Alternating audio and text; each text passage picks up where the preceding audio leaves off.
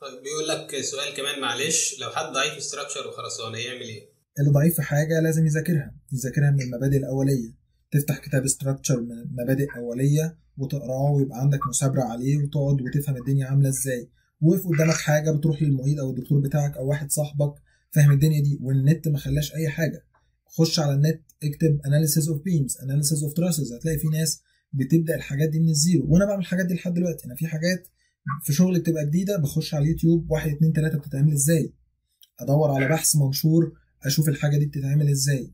فاللي مش عارف حاجة أصل أقول لك حاجة ناس كتير قوي ما بتبقاش فاهمة الحاجة بس منتظر الحاجة دي هتجيله وتقول له تعالى أنا مفهوم أهو ويلا خدني متقشره صعب جدا. كل حاجة عايزة تعب وعايزة مجهود وعايزة مثابره يعني. أكيد أكيد.